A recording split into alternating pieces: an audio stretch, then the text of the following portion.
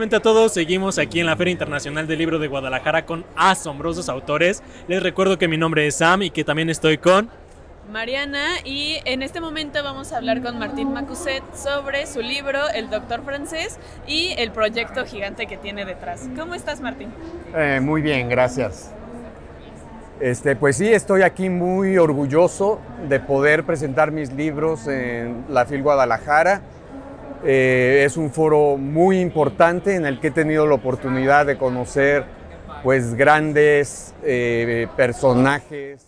Y pues Martín, nos da muchísimo gusto que nos estés acompañando, la verdad estamos muy emocionados de poder presentarte, pero nos gustaría que nos hablaras un poquito de qué, de qué va toda esta onda del doctor francés, que nos cuentes un poquito más de la historia, de qué vamos a encontrar dentro del libro. Ah, sí, mira, como su nombre lo indica, la trama central eh, consiste en que es un doctor que cuando termina sus estudios de medicina en Francia, descubre un códice que supuestamente le dicen es el remedio universal, pero pues es un códice indígena, eh, mexicano, él sabe que viene de México.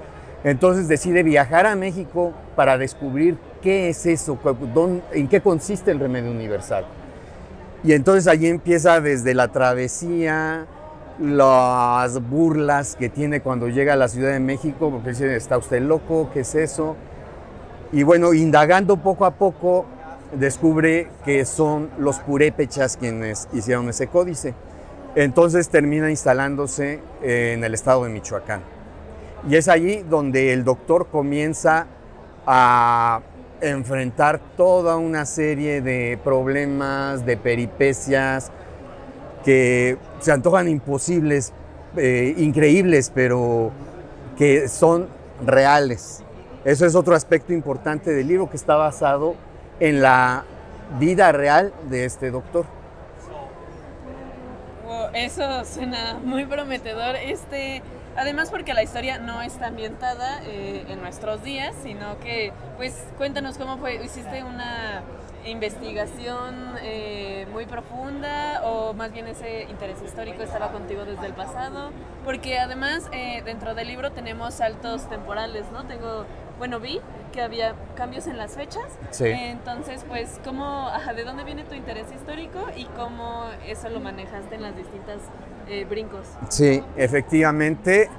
en ese primer libro vemos que transcurren eh, aproximadamente 25 años en la vida de ese doctor. Y este, yo recuperé, eh, consiste principalmente en una investigación hemerográfica muy profunda, en donde encontré ciertos hechos interesantísimos relacionados con el doctor, pero bueno, eran hechos aislados. Y para crear la novela, pues tuve que encontrar la manera de aislar todo eso. Por eso es que vemos saltos en fechas, eh, y yo tenía que presentarlo como una unidad. Em, este, la vida de este doctor comenzó a interesarme porque es el doctor Macuset que comparte el apellido conmigo, ya que es un ancestro seis generaciones atrás. Yo sabía de su existencia, pero no sabía todas esas peripecias y todo lo que él había contribuido a la medicina principalmente en nuestro país, ya que él es eh, cofundador de la, de la Escuela de Medicina en Michoacán, una de las primeras escuelas de medicina en México. Y bueno, creo, no sé si contesté tu pregunta. Sí, sí, sí. ¿Sí? Me, parece muy interesante el hecho de que compartas directamente el apellido con tu personaje, que sea un ancestro tuyo. Y algo que ahora ya me entró la espinita es saber si estás agregando hechos de ficción o podemos encontrar una novela o una narración completamente verídica. O es una combinación de ambos. Porque estaría muy interesante descubrir como lector cuál es la, parte completamente verídica o estar jugando con este juego de ficción. Ajá. Sí, como tú dices, vamos a encontrar las dos cosas. Es una novela, es, es historia novelada. Que bueno, esto es necesario para poder unir todos esos hechos históricos que son en sí cada uno de ellos es interesantísimo. Lo vemos en cada capítulo, en donde muchas veces un capítulo es, em, tiene su propia trama. Y bueno, ya hay una trama general que, que, liga todos los diferentes capítulos. Entonces, normalmente la trama particular de cada capítulo vamos a considerarla eh, cierta, histórica, en todos los casos. Y la trama general que está, los está ligando es en donde hay un poco más de ficción. Pues suena una mezcla muy interesante tanto históricamente como la temática y pues el enfrentarte a pues a un ancestro, ¿no? Porque al final también parte de eso es reconstruir pues tu árbol genealógico, como jalar eh, eso hacia ti. Entonces, pues más bien ahora me gustaría preguntarte sobre tus, tus hábitos de escritura, porque tengo entendido que eres químico de profesión. Sí. Entonces, como cuándo era el momento que le dedicabas a escribir, si eso se veía muy peleado con tu día a día o son mundos que pueden compartir eh, ese encuentro contigo. Ajá.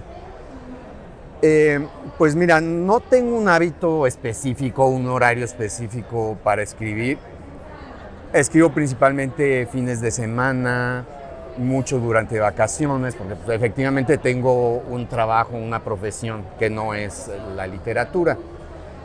Pero lejos de ser un problema, para mí es algo que me ha ayudado mucho, porque esa base científica que yo tengo, eh, sí, tengo estudios de, química, eh, pero soy científico, en realidad soy investigador científico. He dado clases en la universidad durante muchos años y todo eso me ha ayudado mucho a interpretar la ciencia detrás de lo que hacía este doctor. Entonces, porque los libros, además de ser una historia eh, que lleva su trama y su desenlace y todo esto, eh, también trae aspectos bien interesantes sobre la historia de la medicina. O sea, tenemos un trasfondo histórico de lo que sucede en México a principios del siglo XIX o a mediados y un trasfondo histórico bien importante acerca de la ciencia de la medicina, pero presentado de una manera sencilla para que cualquier lector encuentre el interés sin que le parezca pesado ni mucho menos. Algo que me llama mucho la atención en general de la historia es... Me resuena la pregunta ¿por qué? Y me refiero al cuál fue el detonante que hizo que tú quisieras escribir la historia. No sé, eh, hablando de este ancestro tuyo, tal vez fue su historia o una pasión que tú tienes. ¿Cuál fue el detonante para que esta historia existiera, para que esta historia se concretara hasta como la tenemos hoy día? Es, eh, una historia curiosa esta, porque bien, si yo sabía de la existencia de este personaje, era muy poco lo que sabía acerca de él.